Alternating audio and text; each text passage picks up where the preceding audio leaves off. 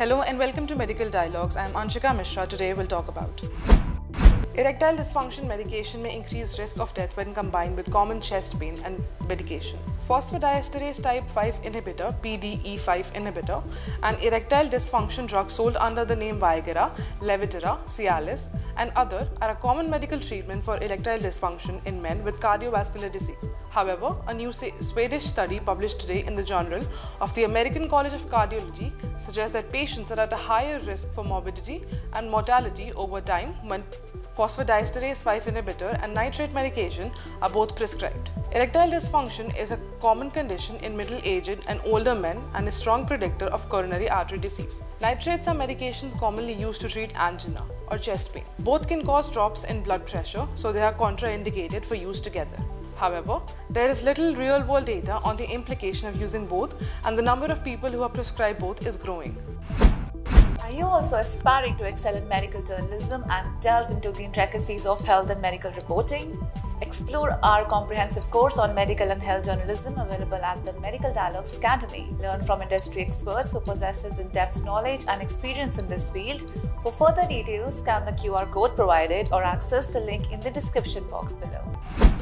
The study included 61,487 men with a history of myocardial infarction or percutaneous coronary inter intervention who had received two nitrate prescriptions within six months. Exposure was defined as having received at least two filled prescription of any PDE5 inhibitor medication. Among these men, 55,777 men were treated with nitrates and 5,710 were treated with both nitrate and PDE5 inhibitor. Median follow-up time for the entire cohort was 5.7 years in nitrate nitrate only users and 3.4 years in nitrate users with PDE5 inhibitor treatment. The nitrate plus PDE5 inhibitor group was younger at 61.2 years compared to 70.3 years in the nitrate only users.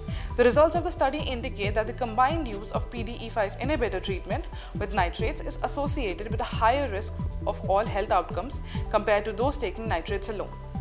In those taking both PDE5 in inhibitor and nitrates, few events occur 28 days after dispensing the PDE5 inhibitor, with lower incidence rate than in subject taking nitrates, indicating that there is low immediate risk for an event. Our goal is to underscore the need for careful patient-centered consideration before prescribing PDE5 inhibitor medication to men receiving nitrate treatment, Andersson said.